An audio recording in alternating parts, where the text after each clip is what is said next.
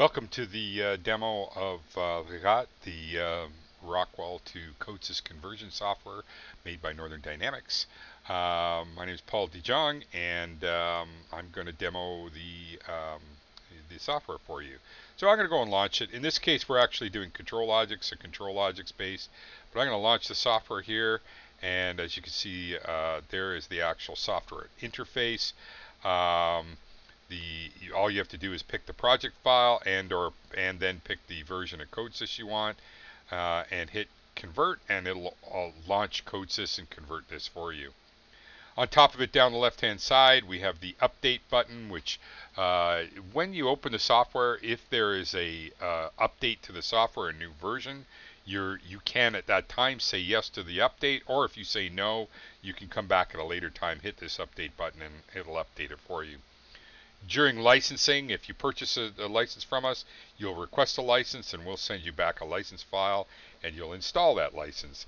Um, we have a help function and a quit. So let's go ahead and do this. We're going to be doing a control ControlLogix file. As you can see, I'm going to go out and I'm going to select uh, our demo control ControlLogix file. And then, of course, we're going to use Service Pack 20 as our, as our um, version. It will save a report to the desktop, uh, a text file, and uh, if there's any blocks that it hasn't converted. In the ControlLogix world, we do not convert uh, the message instruction or the GSV, GSV SSV. We find the GSV SSV is very particular to the hardware, and we would have to know what hardware you are using to be able to do that. So the message instruction itself is is a communications instruction and you would have uh, different ways within CodeSys to do communications. So as you can see, it's launching CodeSys and uh, a couple menus that pop up as you go, but bottom line is it'll go and, and, and open CodeSys. It'll add the Northern Dynamics library. You'll see that happen down at the bottom here. In this case, it's going to add the ControlLogix library. So it's added the Northern Dynamics library, and then on the left-hand side, it's gone ahead and um, it's gone ahead and converted the program. Um, yeah, so then from there, it's going to ask you if you want to go to the newest version uh, uh, in, uh, in, in CodeSys, and I'm going to say yes to that. And um, and then we're good to go. There's the project.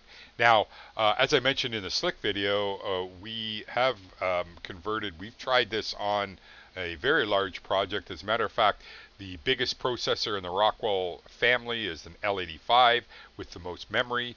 We we took a project that basically maxed out uh, an L85 and uh, ran it through the converter, and in about uh, two to three minutes it converted it. So it's pretty quick, as as you as you saw there. So anyways, what what do we see? It will convert the AOIs for you. As you can see, there's logic that's created based on the AOI and then of course those AOIs are used down below in your in your project just like functions in in CodeSys and Siemens. Uh, of course we're doing uh, we do ladder logic. So you can see it's it's giving you ladder logic and there's logic in the in the AOI ladder logic in the main area and of course the AOIs are even ladder logic as well. So what we do is we transfer in kind. If your software, if your application code has ladder logic, we'll give you ladder logic. If it has structured text, we'll give you structured text. If it's function block, we'll try to give you some function block. So, so we've got our library of, uh, of uh, instructions covers all those languages in the in the ControlLogix world.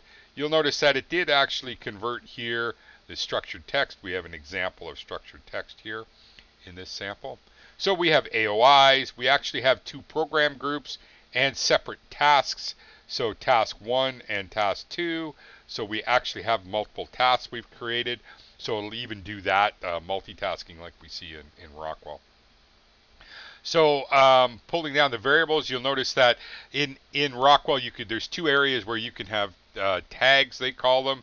You have them in the program header, uh, local to the program group, or you can have them in the controller tag area, which is what we've recreated here as a GVL. And notice it's a retained uh, to to retain those variables as well. So then from there, uh, we've created data types. We will recreate the data types and you can see it's actually done that. We just I've just given an example of a data type called date and time, a UDT in Rockwell. It creates that structured DUT in CodeSys. And then, of course, we add a couple of things just for um, um, extras. So we've given, given you a st structured uh, time structure, uh, and then also uh, our first scan bit. All right, so that's the conversion. It basically converted the software for you.